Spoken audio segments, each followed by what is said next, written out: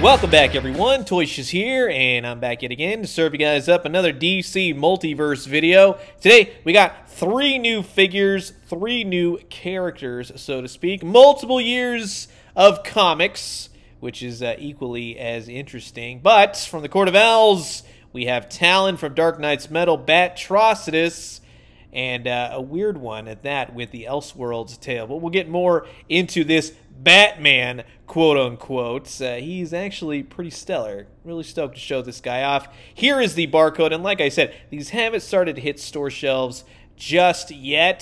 Batrocitus, relative new figure, just a few years old, showed up in uh, Death Metal, Dark Nights Metal, but here's the barcode for him as well. And then, like I said, yes, straight from those mysterious Court of Owls Talon. And, you know, he's looking pretty darn talony, right? So, like I said, they haven't started hit store shelves just yet. Mine came from Entertainment Earth, and if you are interested, I will put affiliate links down in the description below. Hey, thanks for using my links. You know the spiel by now. So, this is going to be fun. Sit back, relax, grab yourself a nice hot cup of coffee. This is a look at three brand new McFarlane Toys DC Multiverse figures. Superman, Speeding Bullets, Batrocitus, and Talon. So let's check them out. And of course, once you're done opening all the figures, pulling out the weapons, cutting those little plastic twisty ties, there's a lot of those in these McFarlane packages. You got three pretty cool looking figures. Some that are like, yeah, others that are like, yeah, that's cool, but we'll kick it off with old Batrocitus here. The Red Lantern Batman that is Batrocitus in a weird multiversal dimension, right? Who knows? He gets a pair of extra fists, which is nice. And if you notice, yeah, that fist right there has the Red Lantern ring. Nice. Like seeing that. He also comes with a clear translucent red Red Lantern. And that's always nice to see. Nothing moves on it, but Again, nice to have a red lantern. You got the black multiverse stand, and then you have a really cool character on paper, right? You go, okay, it's a Batman version of Atrocitus that then becomes a red lantern. You got a lot thrown in on there, but it's a character that makes for an interesting action figure. I'll give it to him all day, right? Nice reds, nice blacks, really cool, interesting sculpted head. I do like the teeth on this guy, the red eyes he's cool. He's even got these little red markings all over, back and front. I like that they threw those in there. That's from the design. But it's pretty much a look, we'll say, from the recent collectible Atrocitus, but he's a miniature-sized version, and you're going to expect around the same type of articulation as a standard DC Multiverse figure, right? All those different parts and pieces moving. However, right here, I think it's an awkward cut. Kind of breaks up the boot a little bit too much. It's like boots and then joint, right, to move it around, and then little mini boots.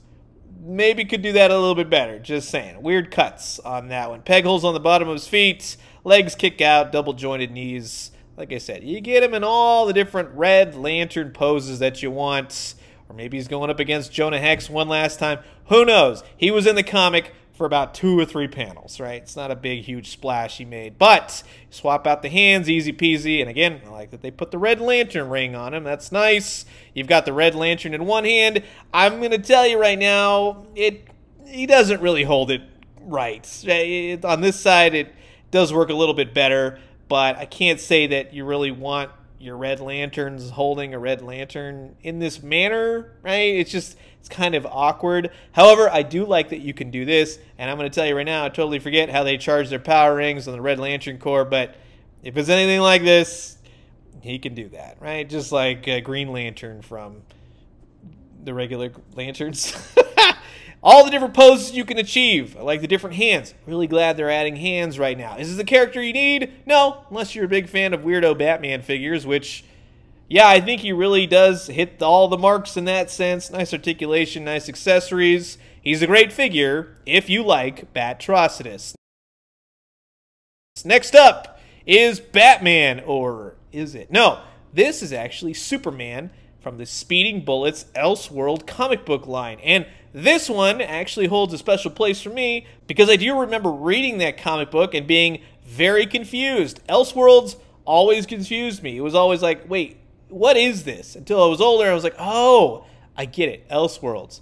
Duh, right? But this Batman, much like Batrocitus, does come with extra fists, so that's nice to see. Again, we're we're getting better, right? You got the flat black stand, and then I'm not. I was like, I don't know how this is gonna go. Is this is cool? Is it not? Yeah, it's actually a really solid looking figure, and I'm the most impressed. Like this is my favorite out of the bunch, right? This would make for this body type, this look, muscles and all, articulation and all, solid Batman figure. Swap all the uh, pieces out, and and yeah, you'd have a really solid buck body for Batman. Of course, minus all the lines, which I do like they did their homework here. This is the exact suit that he wears in this Superman Elseworlds tale. That's cool. So I'll give it to him all day, even down to the cape. Yes, the cape could have been a little bit longer. Heck, even cloth goods but it's a solid cape. I like that. The face is great. I love the Batman symbol within the yellow Superman symbol, and he can look all the way up and do all the cool DC multiverse articulation that you'd expect. Butterfly joints, bicep, double jointed everything. He's got a really good ab crunch. Again, solid. I like the way that the rubber diaper works on this guy. Solid, total improvement over other diapers, right, that we have seen. The legs work good. You can get him in all the different poses, flying and whatnot. The cape works with him. But again, if you use this body or just these type of figure for Batman in the future, it's going to be solid. And the best part about it is with all that added articulation, you can do the Elseworlds cover, which is, of course, a nod to one of the original Superman covers as well. So I really dig that.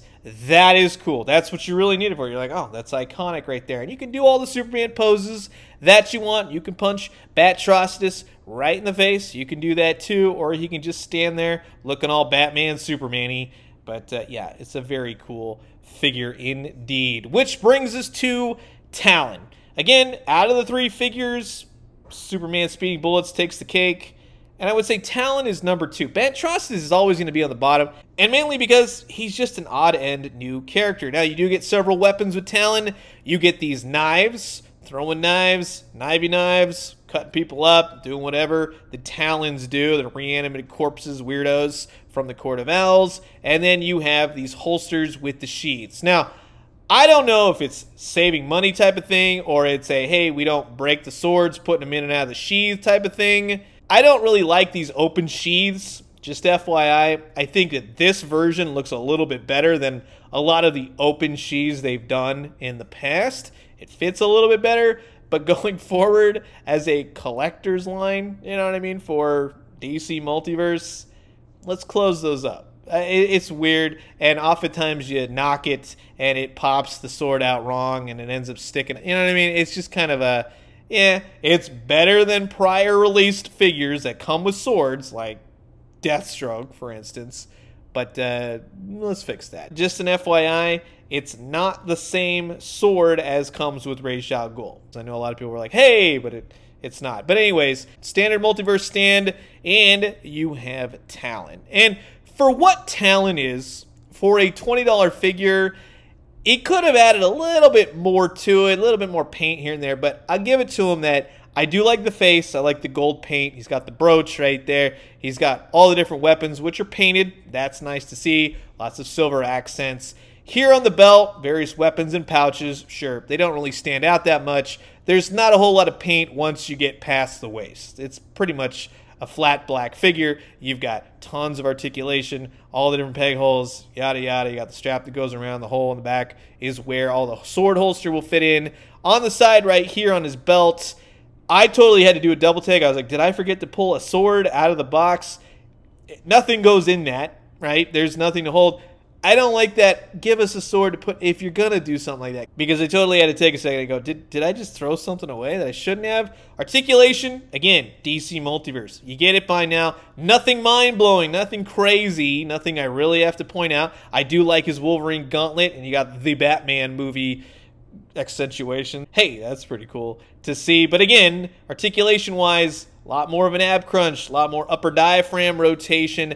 The diaper works on him as well. Nice and rubbery, flows with the figure, nothing really like a jarring cut. The legs, however, do get a little bit hindered. He's supposed to be more of an acrobatic character, right? Haly Circus-ish, you know what I'm saying? Mm, it kind of gets kind of hindered. Double jointed knees, feet, toe. I thought at first he had the older ball articulation, but no, it's just a little bit of a different shape, which, hey, I totally appreciate that. So you get that new added, updated articulation. Throw the swords onto his back.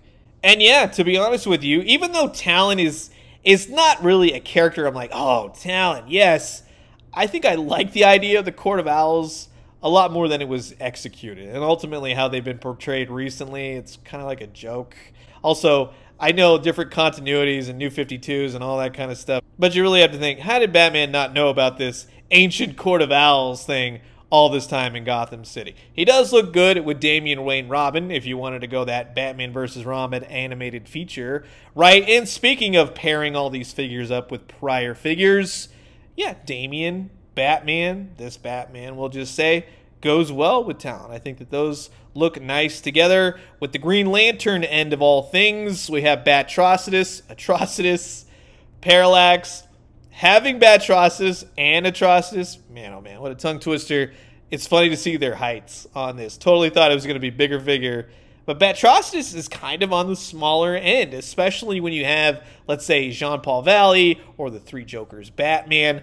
He's tiny, which doesn't detract. You're like, okay, well, he's an Elseworlds version of Batman, it's not a big deal, but he's just kind of tiny. And then when you have other quote unquote Elseworlds versions, I know, Zur-En-Arrh, well, we're getting more into that with the recent comics, but this Elseworlds Superman does look solid. And like I said, if you have this body type or this look for this figure, and you got a good look at Robin, it's not a bad Batman figure. Just saying. But in terms of Elseworld and 90s and throwing that whole thing back and going, yeah, remember these comic book ads in all those comic books you used to read? I really like this figure. It does hold a special place in my collection now. So that's going to wrap it up for my look at three new DC Multiverse figures by McFarlane Toys. Batrocitus, Superman, Speeding Bullets, and Talon from the Court of Owls. And you've heard my thoughts.